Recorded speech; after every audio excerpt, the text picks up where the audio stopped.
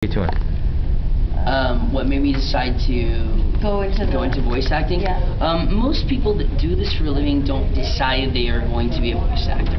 Um, I think it's a misconception a lot of people have about what we do for a living. Um, most of us are actors, and that's it. I'm an actor whether I'm working on a commercial or doing a stand-up comedy act or whether I'm doing this. Um, so much of being a professional performer is finding out where your fit is and finding out what works for you. Um, there are people that sound have the sexiest voices on earth, but like when you meet them, you're like, ah, yeah, and it's not that that's bad. It's just that It's not you know. I will never play Romeo in Romeo and Juliet. I've got a strange voice and I'm short and kind of chubby and like, and that's fine with me.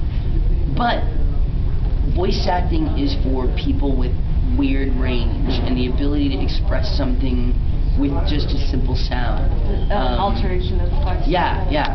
Or like it, like Johnny Bosch can sound like he's getting beat up better than anybody I know. I mean, I've listened to him do fighting reaction sound and get getting his butt kicked, and he got it right the first time. And that's not always the easiest sound to make. You know, the getting punched in the stomach, then kicked in the head, and boom, boom, boom, boom, and he can make it totally believable. You would think he's really getting hurt.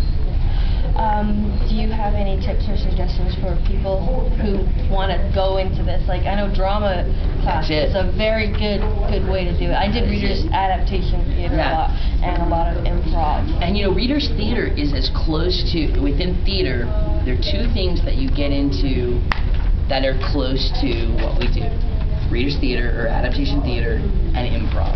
Yeah. Because one of the things, oh, did it, did I, oh, okay.